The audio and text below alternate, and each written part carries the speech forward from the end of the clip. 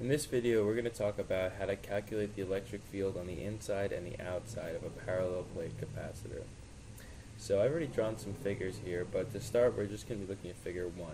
Now figure 1 is just showing you a, a parallel plate capacitor. One side is positively charged and the other side is equally and opposite, oppositely negatively charged. That might be a little redundant, but they both have the same charge but opposite in direction. Now, um, what we're doing right now is we have a Gaussian surface that's going to be surrounding uh, both of these sheets. Basically, it's just going through both sheets, treating them as one uh, object. And we're going to be using Gauss's law to calculate the uh, electric field anywhere outside of the sheet. Um, so what we can notice right here is from our field lines that um, on the negative side we see the field lines, they're all going this way. And then on the positive side, we see that the field lines are going this way. So if we're going to solve this equation, the divergence through the surface, we would notice that the total, um, or not the divergence, but the um, electric flux density through the surface, we're going to notice that it's going to be zero because the same amount that's going in is going out. So therefore, we know if we want to calculate what the electric field on the outside is going to be equal to 0. I hope that makes sense. Now, let's try to look at this uh, by breaking each plate down into, um, into individual plates. So right here, we've got our positive charge plate, and I've drawn another Gaussian surface around it. So now this time, if we notice the direction of the arrows, half like uh, on one side they're all going outward, and on the other side they're all going outward. So we know that there's a total flux, like there's a there's actually a positive flux that's going through the surface, but it's not zero, which is, is the most important thing.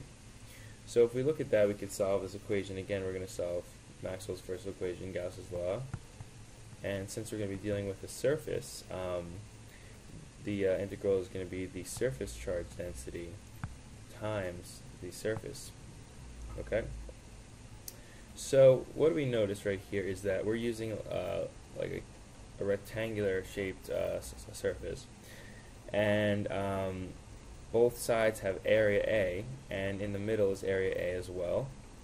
So for, for this side of the equation we're going to be having D going out twice so our electric flux density is going to be going out in the A direction and then in the opposite A direction as well.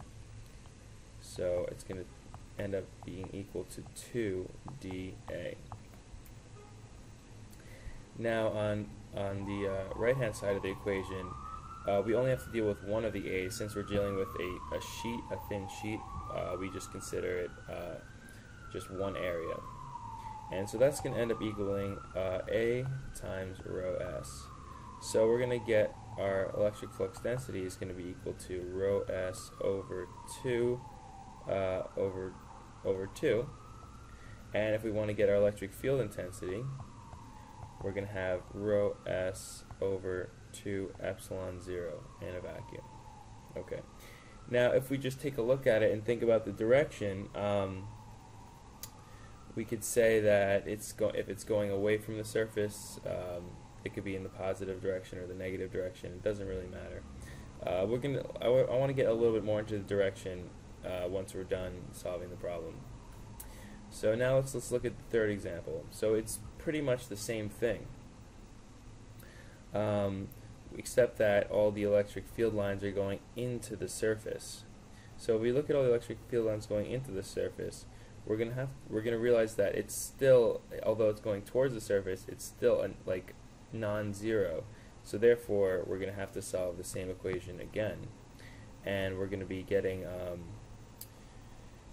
uh, we're going to have to basically have the same result. Now let's just try to look at um, the directions a little bit, I guess, because it's kind of important. So if we have our axis like this for here, going this way, this could be our positive x and this could be our negative x. And we're going to have the same axis on this sheet. It's going to be the positive x and this is the negative x.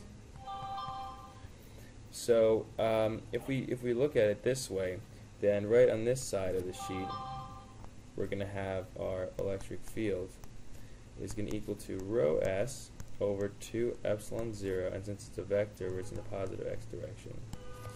And then over here, we're going to have um, our electric field is going to be equal to rho s over 2 epsilon 0 in the negative x direction. So this is negative. Similarly, we could see right here uh, is that the electric field is equal to rho s over 2 epsilon 0 and this is also in the positive x direction right? Because the arrows are facing in the positive way. And right here we've got our electric field is equal to rho s over 2 epsilon 0 in negative x direction. Okay so right now what we're trying to, to, to, look at is that these are two parallel plate capacitors and they're right next to each other. So, so right here, right in this area right here, this is going to be in between the two parallel plates.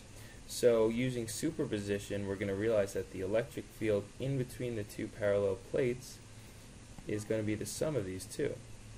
So in total, it's going to be E inside we're going with our direction is going to be rho s over epsilon 0 in the positive x direction.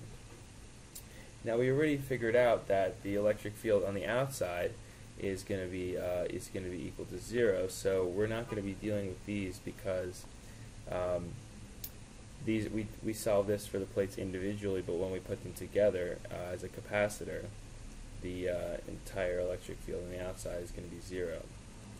So uh, I hope that explains um, the electric field on the inside and the outside of a parallel plate capacitor. If you have any questions, just feel free to leave me a comment. Thank you.